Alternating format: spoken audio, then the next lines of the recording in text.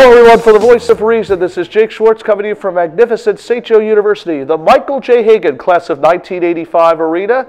And we're coming to you here today from St. Joe's University. This is, of course, uh, the Voice of Reason, which is your source for high school and college basketball all across the tri state area. And today we're going to have one of my dearest all time friends in the entire, not just basketball universe, but the other side of the universe. Head coach Phil Martelli is going to come here to talk to us today about where he started his career and how he's transitioned here in the last 31 years here at St. Joseph's University. This is all coming up here today on The Voice of Reason.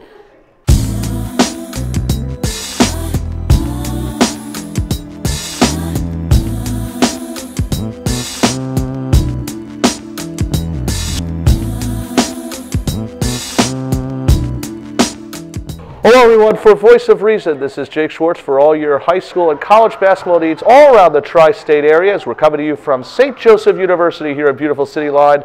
And it is my pleasure, of course, to welcome here for the first time here on Voice of Reason one of my dearest all time friends, not just in the entire basketball universe, but probably the other side of the universe.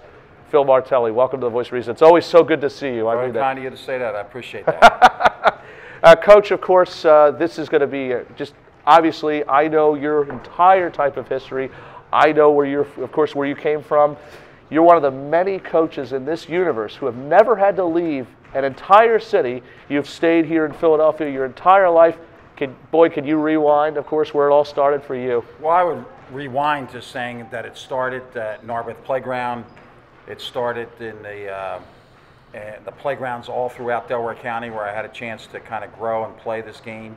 It grew for me from the Palestra. I played in a Catholic League championship game and a city title game representing St. Joseph's Prep.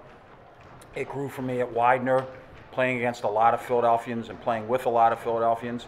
So having the chance to be in uh, Philadelphia for both high school and uh, college, and then coaching in the Catholic League at Bishop Kenrick and and now 31 years at St. Joseph's. Um, I've cheated everybody, to be honest with you, because I've been able to stay in one city the think whole you've time. cheated. I don't think you've done any. I don't think you've done any type of cheating.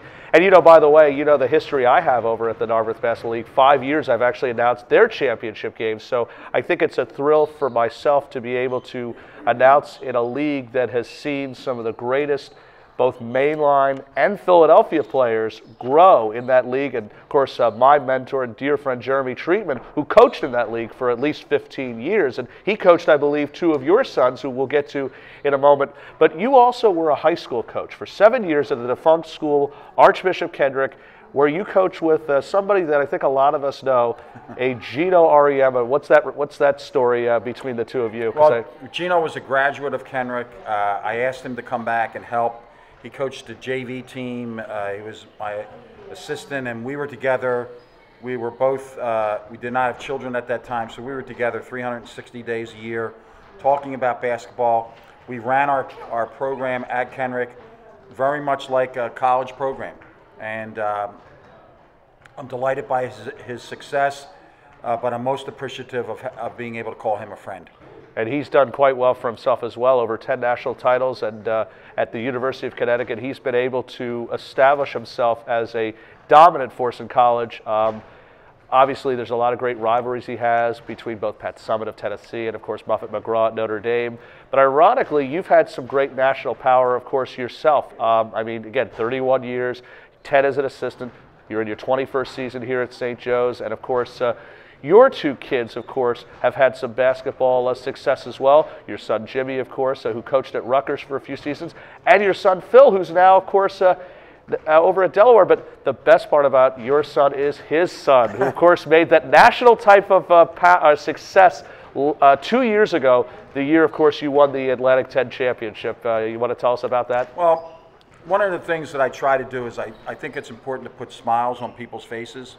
And if I can start that at home with my grandson and and obviously my wife, who is uh, you know part of the legendary uh, Mighty uh, Macs Immaculata, winning played for Cathy Rush, of course, yeah. So uh, my grandson, his love of the Hawks and his love of his grandfather is unconditional.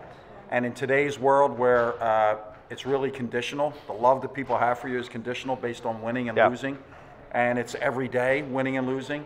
Um, I'm just glad. I appreciate how the players have handled it. I appreciate how Marie Wozniak has been so helpful, and uh, we, we've done a lot to make sure that he knows that he's a kindergarten kid, and that's it. Oh, yeah, not- well, that's- he's not, yeah. not anything more than that. I, I think it's probably better, of course, to probably just keep it as a, as a, as a child rather than just be a national type of headline. Um, of course, uh, everybody, when you're walking on the streets, uh, everybody, of course, who comes up to you and says, Yeah, we know this guy so well. He looks very familiar. Aren't you that coach who coached, of course, um, in that uh, undefeated season right here? Um, Back in 2003, 2004, you had, of course, who then went on to be three NBA players. Uh, of course, uh, they were Dwayne Jones, Jameer Nelson, of course, Delonte West. Talk about, I guess, that was such a great season, of course. Well, it was a wonderful experience uh, because I had the best team in the country. Uh, not just because I had the best players, but because they were the best teammates. They understood how to take each day and maximize that day. I will always respect them for that. And they set a standard for what it meant to be a team.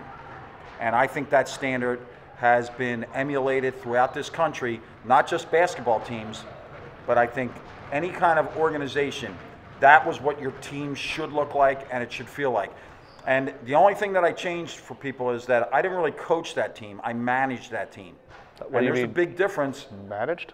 in coaching, you're, you're taking them through X's and O's. And in managing, you're making sure that everything is in order so that for that particular moment in time, they can be the best that they can be in the weight room. They can be the best they can be if there's a day off. They can be the best they can be in the classroom. So, um, my uh, opportunity, I will be forever grateful to that, to that entire team. Uh, certainly, the three guys making the NBA was a was a badge for us.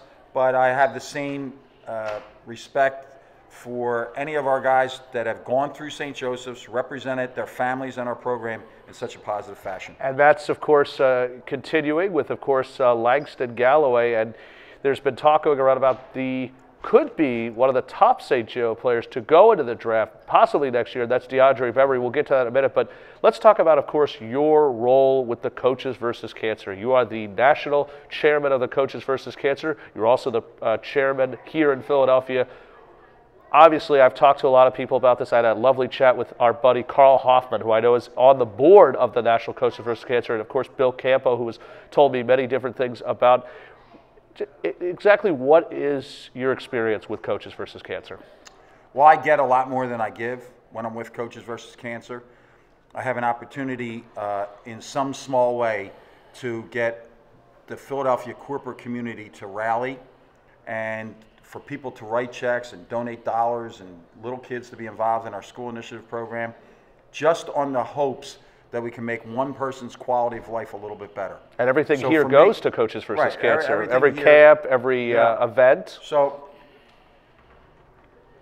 for me, I wake up every day with three priorities. My family's number one, my team is number two, and crushing cancer. Not beating cancer, not helping people with cancer. I want to crush cancer. If I can get those three things done every day, then I've had a good day. And so it's basically just we don't want to make sure that it gets. We just want to make sure it's completely out of the picture, like a hurricane. We want it to just basically drift off to sea, kind of. I haven't ever thought of cancer in a hurricane, but I'll take you on your word. Well, of course, uh, this year should be a very good season. Of course, two years ago, winning the Atlantic 10 championship. And of course, you've got a lot of great players coming back, led, of course, by uh, eight top A10 player DeAndre Bembry. But of course, you've got some really big additions, of course, this year. And I'm going to read on the list uh, Pierfrancesco Oliva. We have Shavar Newkirk, of course, who's back. And our two, of course, two rival players here in Philadelphia. Uh, Lamarr Kimble and Chris Clover uh, from both, uh, uh, should say, Neumann Goretti and of course uh, from St. Joe's Prep. Your thoughts on this season coming up? Well, I'm, I'm anxious to be with uh, all of these players. They're wonderful teammates. It's a really good team of guys. We have one great player. DeAndre Bembry is a great player. Everybody else is kind of trying to find their way and fit their niche. And really, to Fresh and Chris Clover, uh, they're not rivals anymore. They're Hawks. And we need them to go forward that way and to see it that way. And to be honest with you, they can't be Philadelphians. They have to look at this as they're now here at 54th and City Line Avenue. and we expect them to uh, do great things and leave a big time mark here in our program. Well, you open the season, of course, against Drexel this Friday night at 8 p.m. Uh, those of you can catch it, of course, uh, right here at the Michael Hagan Arena.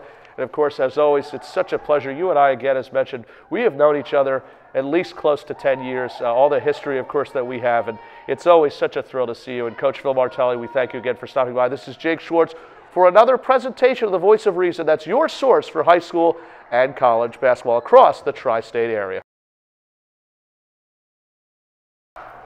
Hello, everyone, for the Voice of Reason. This is Jake Schwartz here at the magnificent Hagan Arena here at St. Joseph's University. And of course, this is your source for high school and college basketball across the entire tri-state area. As you, of course, can see before you, we're coming to you from magnificent St. Joe's, home, of course, of a team that just a few years back won the Atlantic 10 Championship. It's a team that has had great history over the last 25 to 30 years of college basketball. I want to thank, of course, our guest today, Phil Martelli. Hopefully, again, as mentioned, uh, on my personal end, I'll try to get some uh, quick shots with, of course, some of the players. But I want to thank, of course, my uh, videographer, my dear dearest friend and neighbor, coincidentally, Michael Young, who, of course, uh, is a classmate of mine over at Upper Dublin High School. It's been a great day again, as mentioned, and again, uh, it's going to be an even better thrill for the St. Joseph Hawks. They'll start their season, why not, against the City Six. Bruiser Flint and the Drexel Dragons will invade the Michael Hagan Arena as one of the many members is about to actually uh, run right down. That's, of course, former Philly Electrical Technology charter Jai Williams. I'm only making a joke, of course, about that. But again, I'm being serious, of course, when I mentioned to you that St. Joe's certainly has great success here in the Philadelphia area, as they are led, of course, by DeAndre Bembry from the former school known as the St. Patrick's, now the Patrick School in the New Jersey area. He's among the league leaders in the Atlantic 10 as St. Joe's will take on Drexel University right here at Michael Hagan Arena. I believe that is also a doubleheader that uh, day as the women's will open up their season at 6 and the men's will play at 8. So for all of us again here at the Voice of Reason, or should say here at St. Joe's University at Michael Hagan Arena, I'm Jake Schwartz for Voice of Reason.